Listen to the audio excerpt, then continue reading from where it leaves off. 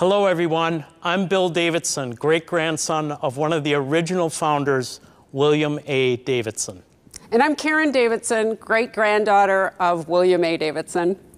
Back in 1990, Harley Davidson introduced a new motorcycle that really surprised the world. That motorcycle was the 1990 Fat Boy.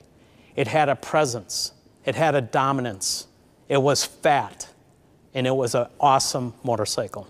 And let's talk about the original style points. Its signature solid wheels established the theme fat. And as Willie G., our dad, has stated, our motorcycles have always had a substantial and massive visual presence, with the wheels identifying the bike. Following is a headlamp and upper fork mass. All of the pieces have to work in concert with one another. Proportion is key, and with the Fat Boy, the design has become one of our most iconic in history. Let's take a quick walk through this beautiful bike for 2021, the new Fat Boy.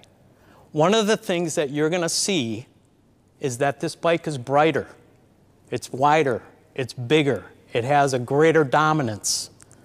And that brightness is due to the chroming that we did throughout the motorcycle. And this was a desire we were hearing from the marketplace. So we brought that answer by chroming out the bike. Starting with the front end, this massive front wheel and tire combination 160 millimeter wide front tire with a chopped fender to expose that beautiful tire a little bit more. These chrome cover upper fork tubes, this beautiful headlight nacelle that's chromed out, the risers. And I love this piece because from a rider's perspective, you're looking down at this and all you see is attention to detail. This beautiful tank console with the bullet holes in the bottom portion of the tank console. You're sitting on top of an awesome 114 cubic inch Milwaukee 8 V-twin. The ventilator cover on the air cleaner, the chrome covers on the engine, the two into two exhaust is now all chromed out. Working towards the back of the bike, these chromed out fender struts with a chopped rear fender to expose that massive 240 millimeter wide back tire.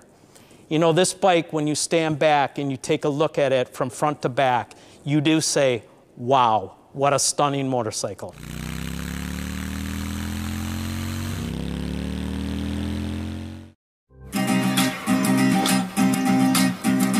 People have the idea that La Dolce Vita is something Italian and it means the sweet life. But living a good life, you can live it anywhere if you're fortunate enough to do the things that you love, surrounded by good friends and family. You have it anywhere. So maybe 10 years ago, I'd taken a pause from riding, and I was going through a phase in my work life that was very stressful. I started riding again, and I got on a bike on some difficult terrain where I had to pay attention, and I rode for the whole day. And at the end of that day, I realized that for the first time in a long time, I didn't think about work. I wasn't stressed. And that made me go back to bikes. The bike, it's confident, powerful, maybe sometimes a little arrogant. I saw all these movies when I was a kid, all these American films, and I captured all these frames in my head. And a lot of those frames have become reality. It's part of the American heritage and it's part of the American dream. You want to interact with it, you want to be a part of it, you want to be in the movie. There's something beautiful in that. I'm very grateful about the life that I have here in America. So for me, La Dolce Vita is right here, right now.